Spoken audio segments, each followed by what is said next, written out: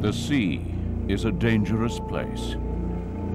We all know of high-profile disasters, incidents that could have been prevented,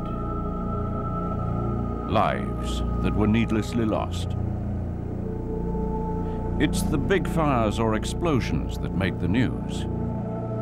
But year in, year out, other lives are lost that we may never hear about. More tragedies that often need not have happened.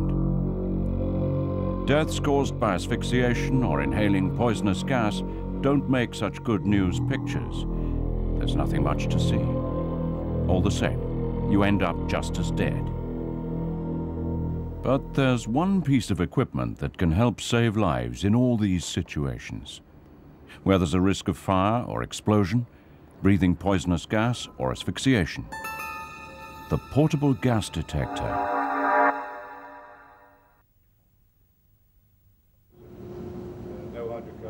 Safety procedures, like the issue of entry permits and permits to work, are vital. They're part of what keeps you and any people for whom you are responsible safe. The danger is often easy to miss. No matter how well trained someone is, they might forget, for instance, that even if they're working in the open air, gas can still be a problem. It only takes a minute amount of some gases to cause injury, What's more, many gases have no smell at all and most are invisible. And as well as that, the problem can be extremely localized. So if someone's working very close to a purge pipe and gas is escaping from it, even though there may be no risk at deck level, at head height, it could be very different. And they may not realize until it's too late. Portable gas detectors play an essential part in many safety procedures. They're designed to help protect you, the people you work with, and the ship or installation where you work in situations that can easily become life-threatening. The responsibility for other lives as well as your own is a heavy one. So don't make the mistake of assuming that the environment in which you and your people work is perfectly safe. You may want to remind them that all ships and shore installations have areas or spaces that can be dangerous. In fact, many enclosed spaces, including cargo holds and tanks, for instance, are simply not designed to support life under normal circumstances. You can never just assume that they are safe to enter. And many areas are unsafe only part of the time, which makes them more dangerous still. There are a huge number of reasons why a space might be or might become hazardous. For instance, a cargo like oil can give off hydrocarbon or hydrogen sulfide vapor. Both can be deadly. Some cargoes can give off flammable or toxic gas, perhaps from leaking containers or packages. Others can react with each other and give off poisonous vapors. For instance, if bleach and acid-based cleaning fluids are mixed, they can give off chlorine. Imagine this effect on a large scale. A number of bulk cargoes, timber, swarf or scrap metal for instance, can absorb the oxygen in the atmosphere. If the space they're in isn't ventilated, the air may not be fit to sustain life. Nearly all ships use dangerous refrigerant gases, not just those with refrigerated cargoes. Steel tanks can get corroded, a process which also absorbs oxygen. There can be a risk of combustion, and also the presence of poisonous gases if the tank has previously contained hazardous or toxic products, or contaminated ballast. Yet all too often, seafarers who should know better take unnecessary risks and allow people to enter a space that is ventilated either poorly or not at all.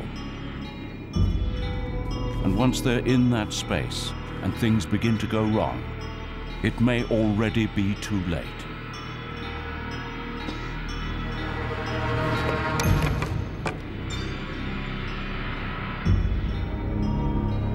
Even if they're lucky enough that the alarm is raised straight away, it's unlikely that anyone will be able to rescue them from the space in time.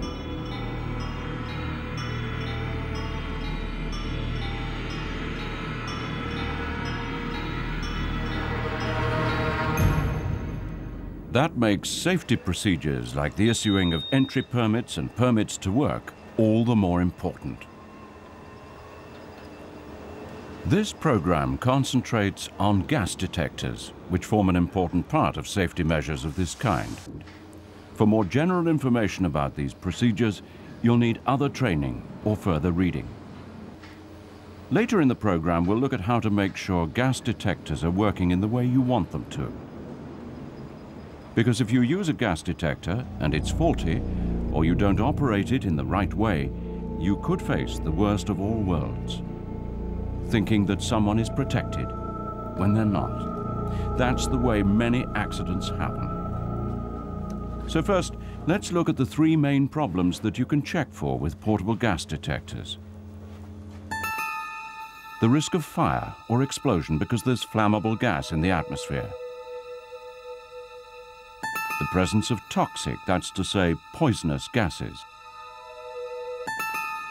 and whether or not there's enough oxygen in the air to make it safe to breathe.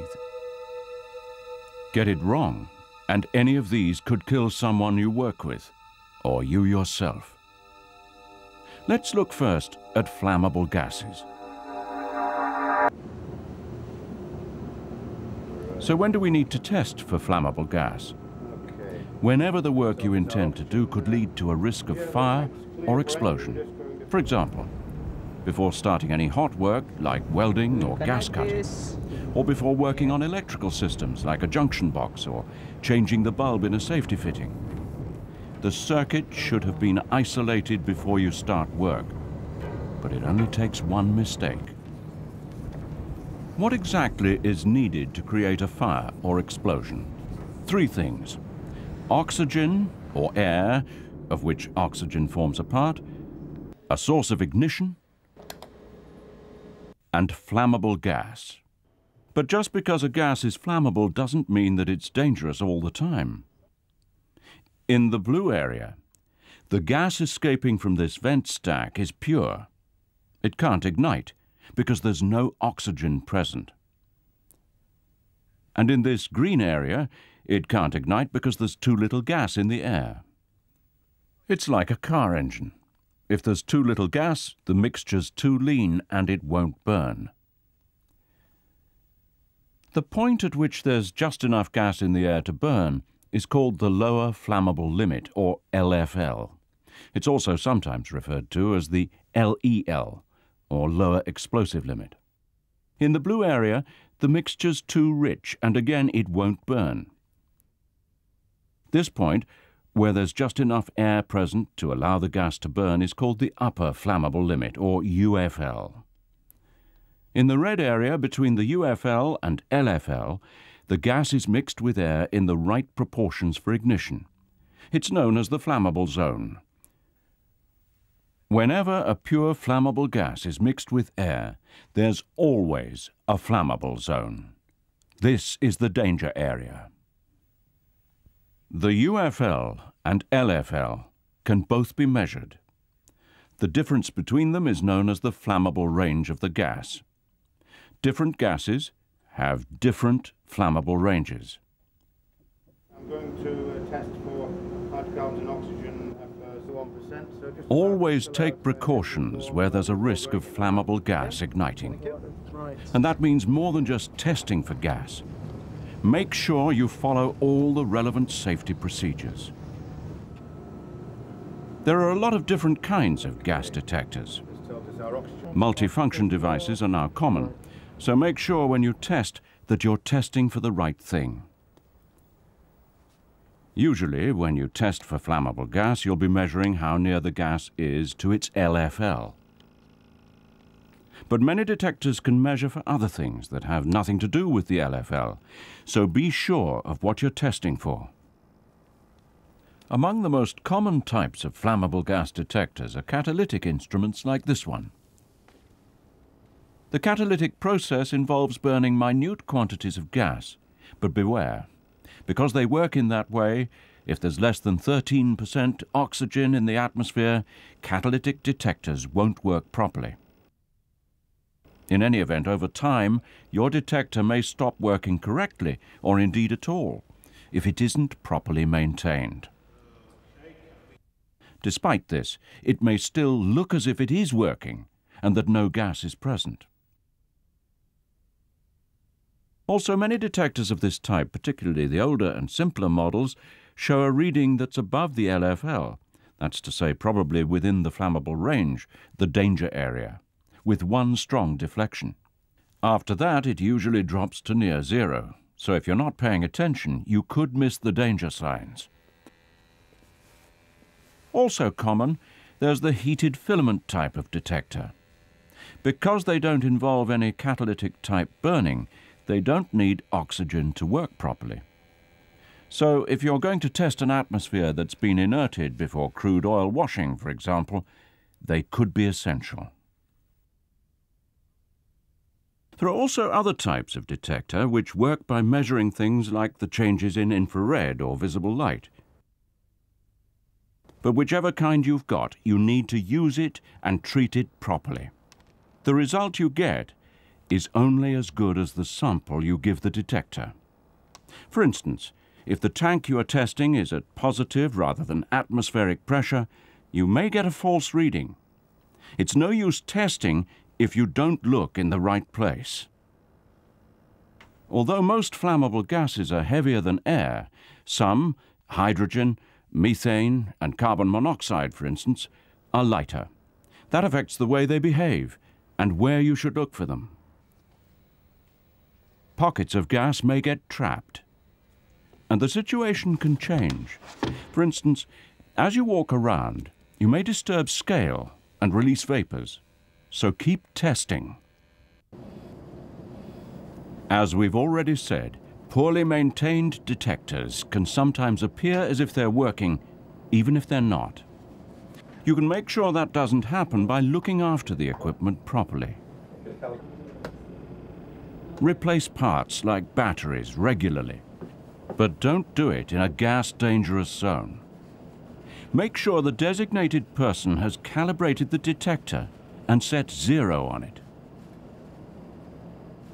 Before you use it, check the date that the instrument was last calibrated and that the batteries are okay.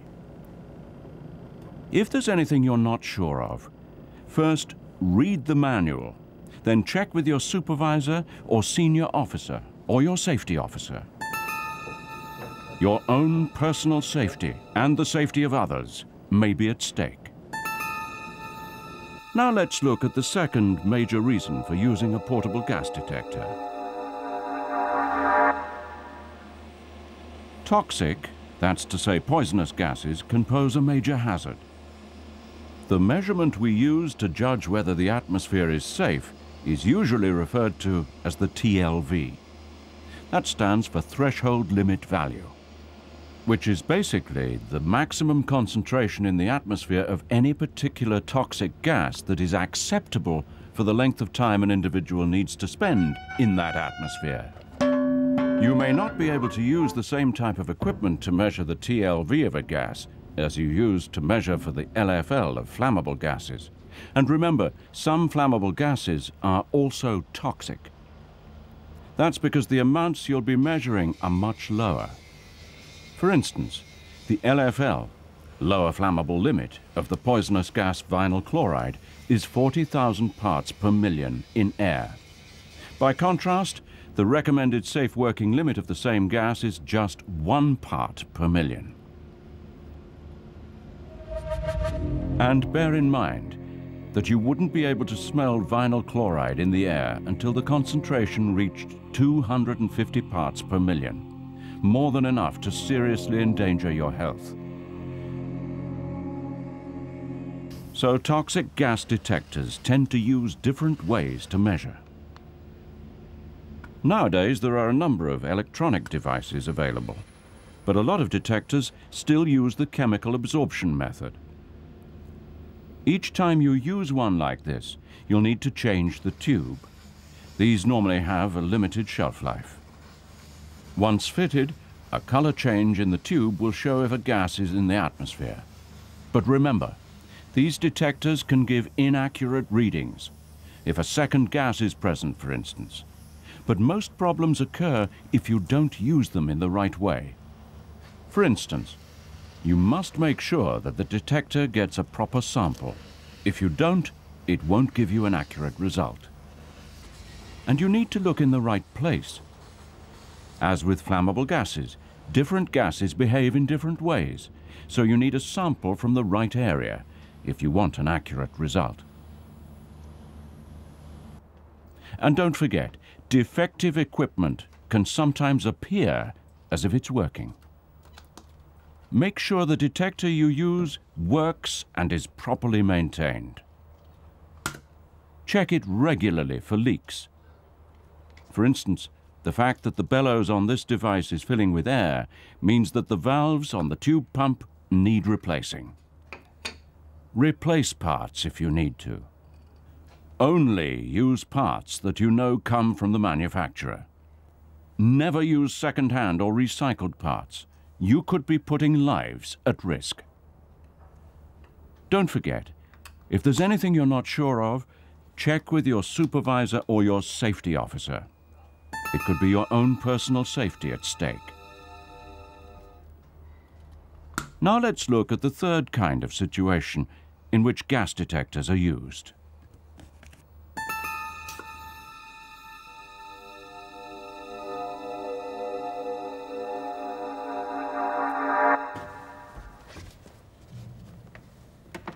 Why is it important to check for the presence of oxygen?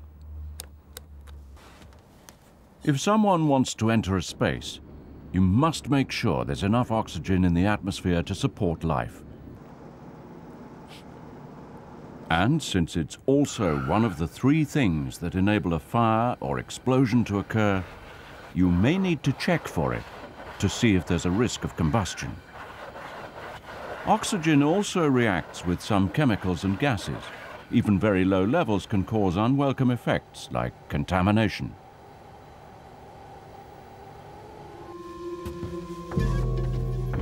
Air normally contains about 21% oxygen. As small A variation as 2% less, and you could already be in danger. Remember, many people who are overcome in this way don't die from straightforward asphyxiation. Instead, they fall down, and it's the head or spinal injury which results that leaves them unconscious until lack of oxygen finally kills them. So if you measure the oxygen level in a space and it's less than 20%, don't go in without breathing apparatus. The most common oxygen detectors include the paramagnetic types, which measure the magnetic properties of the gas. Cell types measure oxygen's electrical properties, but they can also get clogged with moisture if anyone breathes on the device, either accidentally or perhaps to test it. This can affect the speed at which they respond, so that's why most manufacturers advise against doing so. Always use the equipment properly. Make sure you're in the right mode or range, for instance. And don't forget, different gases have different properties, different densities, for instance. It's particularly important to be aware of the possibility of pockets of inert or toxic gas where there may be little or no oxygen present. Come on one of these by accident, and you could be very suddenly overcome. And make sure your equipment works and is properly maintained. Replace parts like batteries if you need to, but don't do it in a gas-dangerous zone. Make sure you calibrate the detector and set zero on it regularly. Follow the manufacturer's instructions when you do. The process is virtually automatic on some detectors, but on others you may need to set zero with pure nitrogen. Likewise, you may need to use a special calibration gas known as SPAN gas to calibrate the instrument. If you're unsure about anything, read the manual first.